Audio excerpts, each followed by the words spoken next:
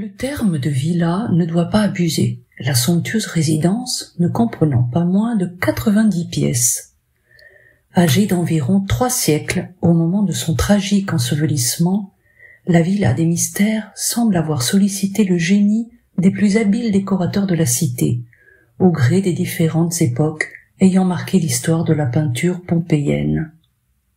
Que les meilleurs spécialistes de l'art pompéien débattent depuis des décennies de la réelle signification de cette fresque dit assez la difficulté de conclure. Personne ne doute qu'il s'agisse ici d'une fastueuse célébration. Mais la grande question reste celle du sujet de cet étrange rituel. Prégnante, envoûtante, la dimension érotique renvoie sans doute à l'hypothèse d'une initiation au mystère de l'amour. Mais à quelle occasion cérémonie lascive d'initiation d'une jeune femme au charme licencieux de l'amour charnel, sous l'égide de Dionysios, divinité des pratiques les moins avouables, ou simple préparatif d'une cérémonie de mariage.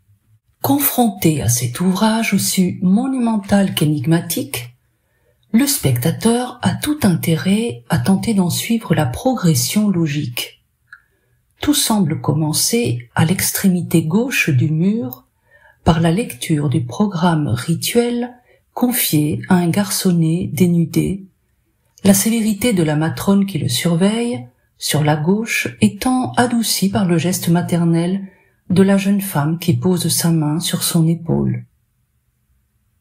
Devant lui, une servante se dirige vers une autre femme, assise et vue de dos, accomplissant le rite de purification sous le regard de deux prêtresses. C'est ici qu'intervient en rupture totale et brutale avec le caractère sacré de la vision un truculent vieillard barbu distinctif de l'entourage de Dionysos, maniant sa lyre au profit de deux jeunes bergers satyres aux oreilles pointues.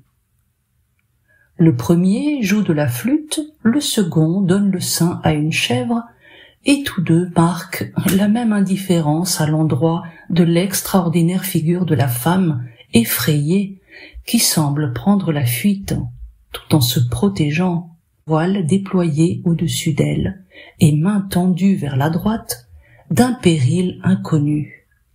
Il a souvent été suggéré qu'il n'y aurait pas là représentation d'une seule cérémonie, mais enchaînement de deux rituels distincts mettant en action trois protagonistes, la maîtresse de maison, alternativement soumise et dominante, Dionysos et sa mère s'émêlés, séduite, foudroyée et divinisée par Zeus, inscrivant le rite dans la durée, la musique joue ici un rôle capital, le spectateur découvrant sur le mur principal la lyre tenue par le silène couronné de laurier et la flûte de pan aux mains du berger, puis sur les murs suivants un tambourin posé contre un autre silène et les crotales.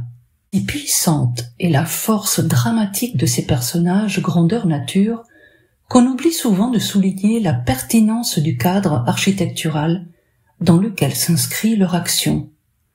Ici, comme dans nombre de villas pompéiennes, la surface du mur est entièrement couverte d'un trompe-l'œil architectural qui crée une prodigieuse illusion d'espace.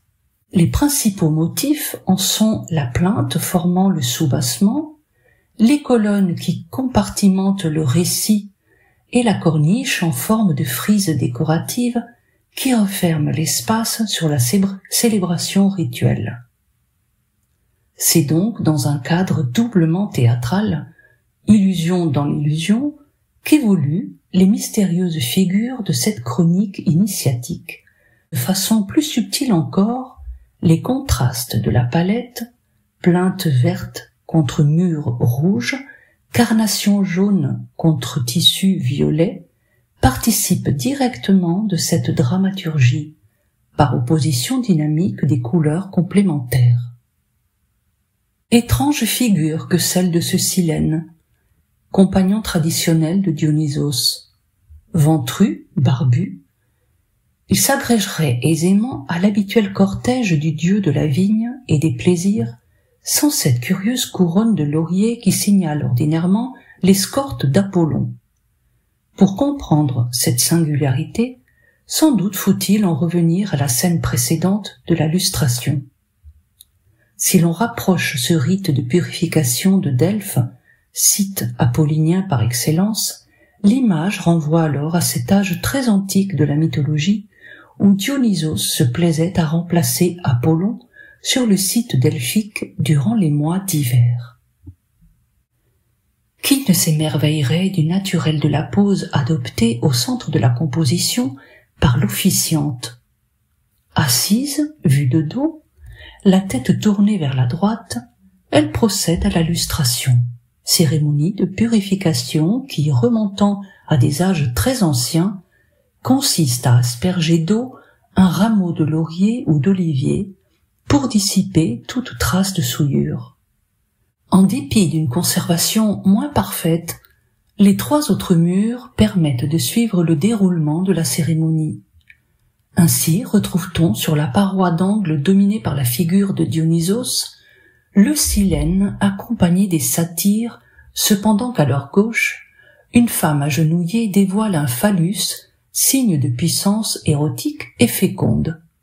Surgit alors une créature ailée, prête à flageller sur la paroi suivante une jeune femme réfugiée sur les genoux d'une aînée devant une ménade en transe l'étrange chronique se poursuit par la toilette nuptiale de la mariée, qui, assistée par une esclave, jette un regard furtif sur le miroir tenu par un petit amour, pour se terminer, sur le dernier mur, par la vision d'une paisible matrone attendant les époux sur le lit matrimonial.